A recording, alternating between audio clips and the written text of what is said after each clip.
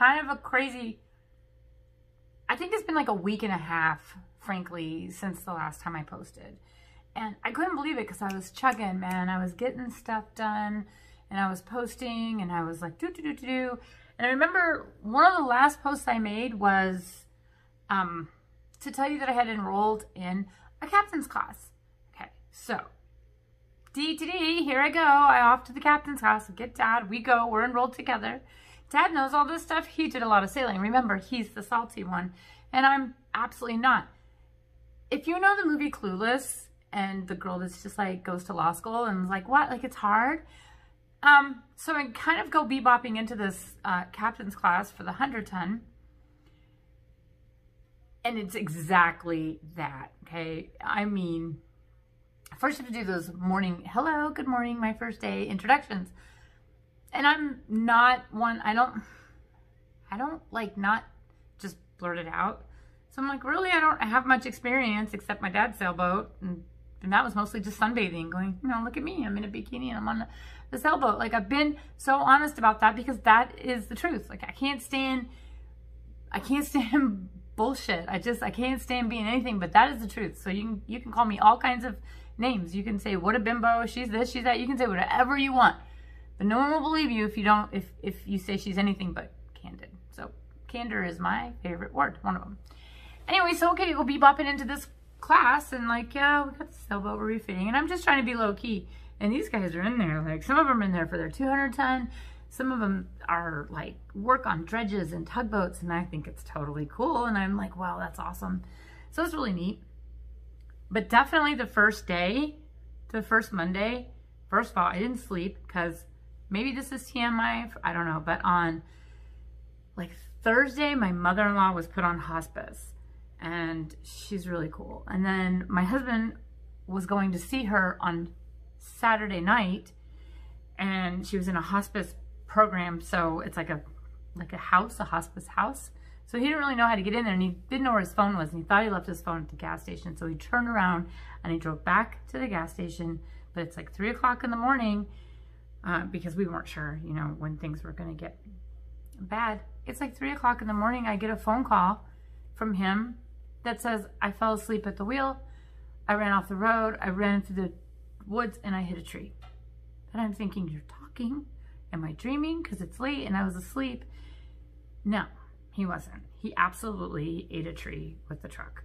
Um, he is okay, except for a bump on his head. So I'm glad for that. And then the next day, he was able to see her. And then the following day, she passed away.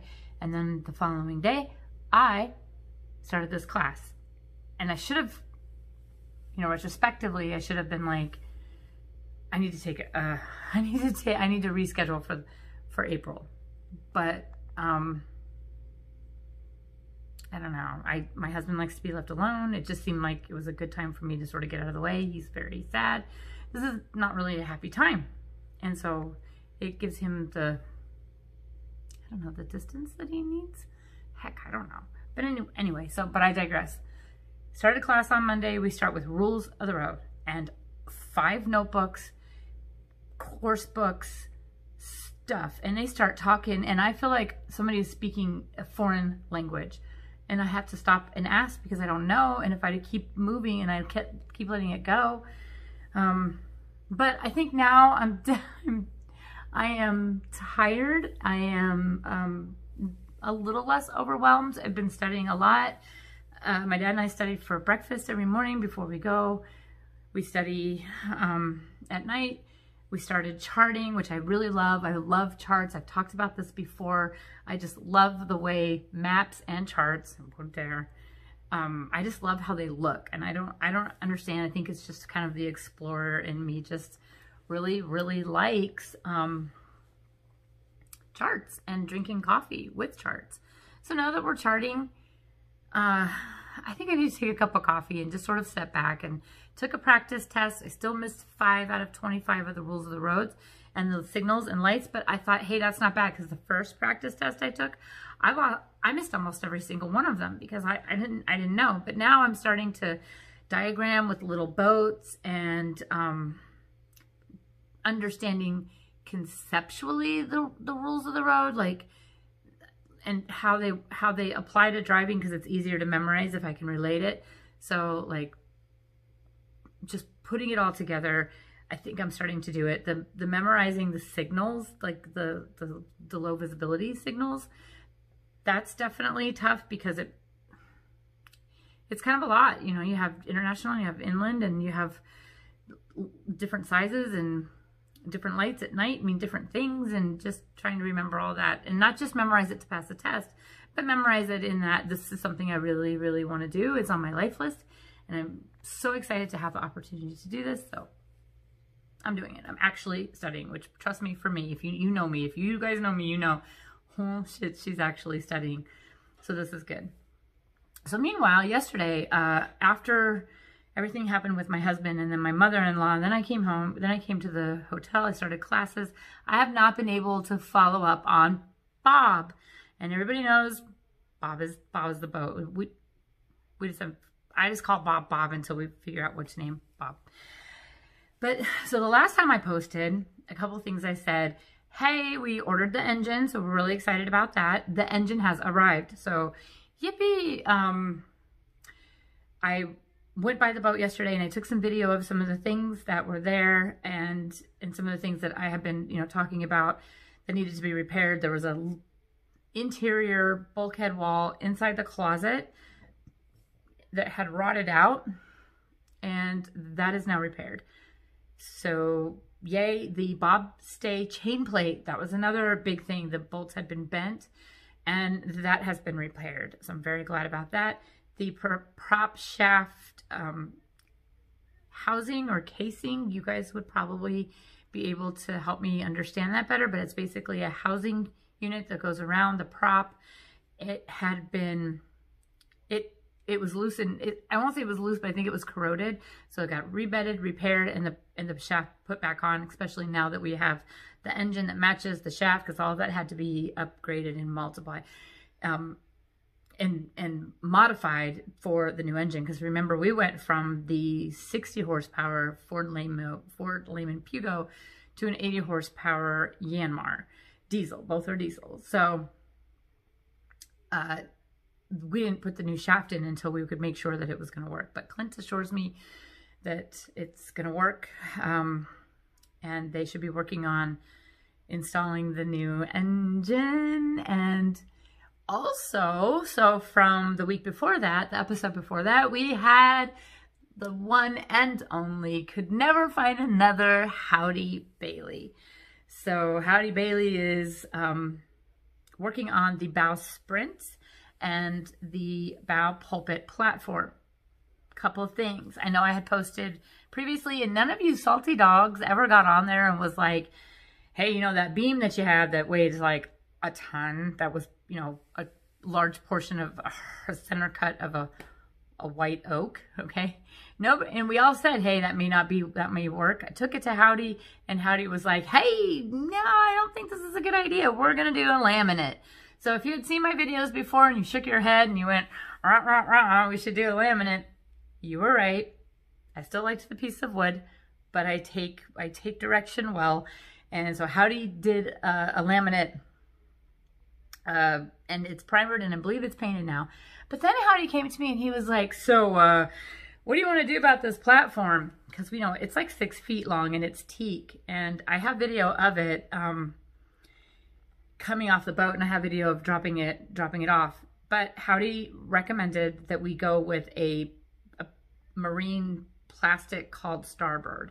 So he's actually making a new platform for the pulpit and that's going to go on top of the Sprit and it's going to replace the old teak platform, which I know some traditionalists are going to give me grief about it because it does take away from the aesthetics in terms of teak, but the boat has plenty of teak and I think the, cause, and it's going to be white. So I think that white, um, coming out, that long white bowsprit, I think will look stately and elegant. And if we actually end up naming this boat Bob, we're gonna need something stately and elegant to sort of negate the hilariousness of having a boat named Bob. You really, you could take that in so many different directions, which is why I love Bob, right? I've said this from the beginning. I love Bob. Uh, okay, so, um, great. Uh, so I'm thinking I'm going to be getting a call from Howdy anytime telling me that the bow pulpit, the platform, and the bowsprit are ready to be installed now that the chain plate, the um, the bobstay chain plate is installed. We're good to go there. So that's kind of exciting. Um, and then the, last few things to repair are going to be the navigation lights need to go on the bow pulpit the new sails need to come on. And I'm not going to get into um, what I'm doing with the sails in this video because first of all, it's, it's in my opinion, and I'm absolutely a nerd and I know this, this is going to be so, so cute that I don't want to quickly go through it. I want to show you, I want to explain to you what I, what we did and why we did it. And dad and I were both 100% bring in sort of mom um, onto the sail and just uh, I have just a whole story to tell about our sail decor, I guess is the best way I can say it, the decoration for the sail. Um, so stay tuned for that. And, and if you see it, you know, sail decoration on the heading of, of a video and you want, you want maybe a tearjerker, maybe a, a good little laugh, um, or maybe just a reason to shake your head and call me ridiculous, but you know, whatever. Watch that video. It will it will mean a lot, and I'm gonna I'm gonna savor this aspect of this channel um, for that particular video, and I just I think it's gonna be really really interesting. Uh, okay, so there's some video I have. I did take some stuff for the from the last couple of days. I did go down and see Bob yesterday after class, and then I caught up on some much needed sleep. So I wish me luck. If you have any advice or questions or input or anything, please, you know, reach out on on um, on YouTube. I don't have a I don't have like a Facebook page or anything yet for saddles and sails. I am writing an article for a magazine for the life of me. I can't remember, but I will post that link once it's done. Um, and I guess that's it. So between writing the article and, and some of the family stuff that's going on and the totaled truck, just... Hey, I'm Mike. I'm working on this piece of bulkhead over here. It needed to get ripped out. Making oh, a wow. jig. Making a jig so I we can put see. some new wood in. Oh, that's cool. You're actually making a whole little frame. Yep. Wow. Cool. Is that the only space it needs to have done, or is it going to be all of it? I had this one already cut out. This is the lower part. We found out this needed to be done, so we took it all out. Resealed your uh, deck fittings too. Thank you. Yep. Wow. Well, thank you. Look at there's a there's a man in your closet. Look how that's awesome. the next day. So here's that bulkhead wall that needed to be replaced, and the deck fittings Oh, are now, doesn't look like there's deck fittings there. He said something about it leaking right there at that piece of wood. And that makes me wonder if the, where it is leaking. Well, everybody, as you can see, the bow sprint chain plate is back in and it looks pretty good. So that's really exciting.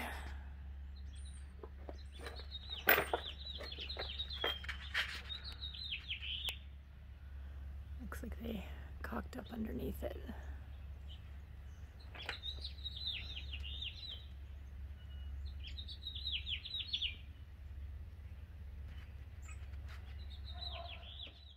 The engine room.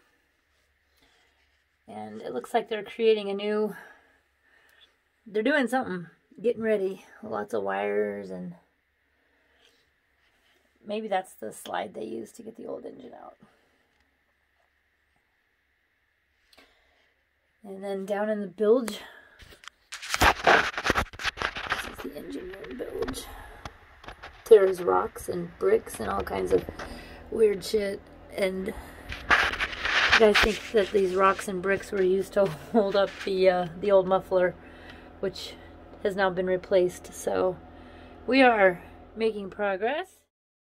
Up next is Howdy Bailey, Larry, and all about bowsprit. This dude, you, you, everyone like knows you. I didn't know that. this is the going to be the bowsprit. what do you mean gonna be? It is. It the is the bowsprit. It is. It is the bowsprit. do you see? That? I like. I love it. Okay, so two by eight laminate. You're the bowsprit guy, Larry. I am. I you are now. How many have you done? Uh, I probably lost count. That many, huh? Mostly metal. Mostly metal. Yeah. Oh, okay. Yeah. So how come we're not?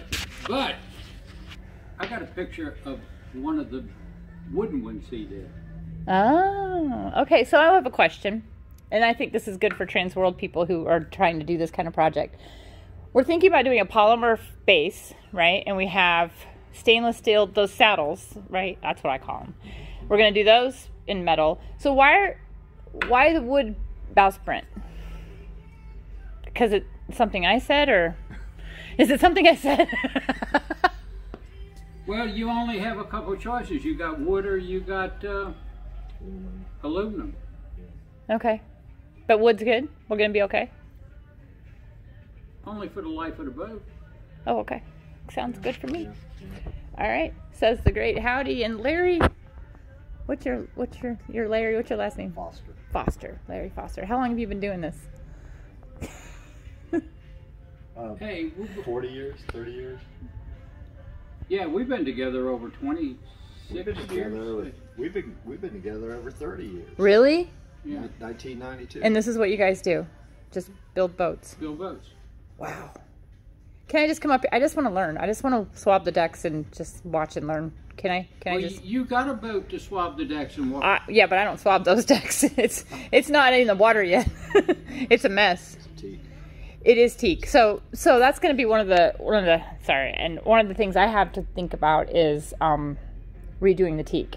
Mm. Do we pull up the teak and replace the core? I have a friend. Oh I, I have a friend who just got done doing it on the same boat, and he pulled it up and replaced it with Coosa. Did he? He did. From the top. Uh-huh. He did. He just finished. So my dad's like, let's sail it to Guatemala and get it done there. That's what dad says to do. And as dad is apparently smarter than I thought, which who knew?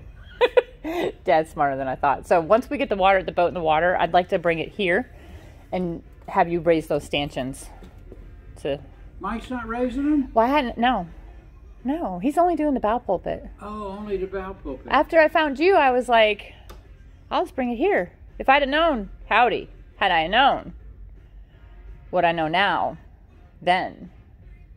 You haven't seen anything finished yet. I just, I've seen enough. I've seen enough. Did you go on the website? I did. Did you? I totally stalked you. Totally. I confess. I know. Did you see my YouTube channel? you didn't see our video on YouTube? No. I'll send you the link. Do okay. I will. Do that. Yeah. I, I, I just I just want people to see what we're we're doing and. I need your I need your dad's email address. Okay. Uh, when you get a chance.